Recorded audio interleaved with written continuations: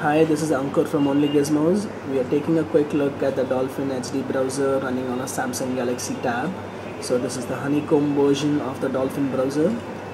Dolphin browser has become very popular given its gestures and WebZine feature for tablets. So you can see uh, the tab uh, the tablet version has tabbed browsing so you can add new tabs over here and switch between them very easily much like uh, Chrome on your desktop. The most uh, attractive feature of uh, Dolphin, uh, Dolphin browser is gestures. So you see this gestures button over here on the left bottom. You just press this and it shows you a gradient sort of a grid where you can make gestures. So if you make a F gesture it goes to Facebook. It's a predefined gesture. You can also set your own gestures so we press gestures again and we go to the settings menu over here on the right. And you can see a whole list of gestures. Facebook and Google are predefined. We will add a new gesture for onlygizmos.com so let's feed the URL first.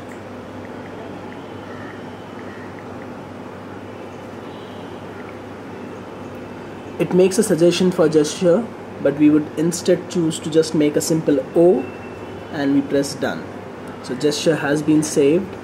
We will go back to the browser new tab gestures and we make a O. And there you go onlygizmos.com opens up. So that's gestures.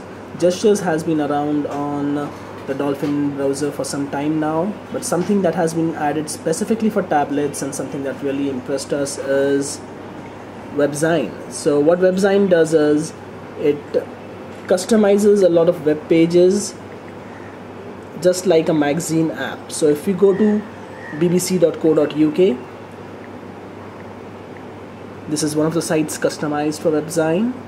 The moment you launch the website, Dolphin browser gives an option to open the WebZine version of this website. So you would see a WebZine button, button over here on the address bar we press that to launch the WebZine version. So this is the WebZine version of BBC so you can quickly go through articles see them like a magazine.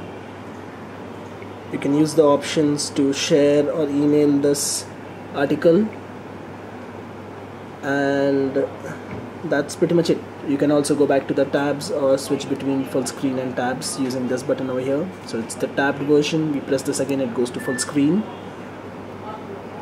You'll see that WebZine is pretty different uh, compared to what we have seen on the iPad.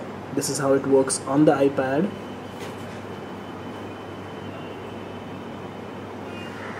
so that's the Dolphin HD browser on Android. You can see it's multi-touch enabled. And uh, another cool thing over here which is uh, currently specific to android only is add-ons. So you have a add-ons tab over here on the right sidebar. You press add-ons and it takes you to a all new app store where you get a lot of add-ons that you can add. So you can add a translator or you can add a youtube search or a google search or dolphin fm so there are tons of add-ons over here ranging from ad blocker to a map or a eBay search for Dolphin HD browser so that's another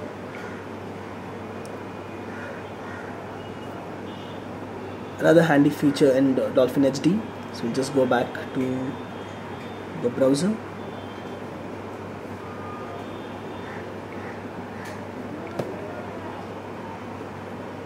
You, can see your history here on the left history and bookmarks on the left sidebar and you can just go to the right sidebar for quickly going to full screen mode or launching add-ons. So much for Dolphin HD browser running on a honeycomb tablet. We'll have more for you soon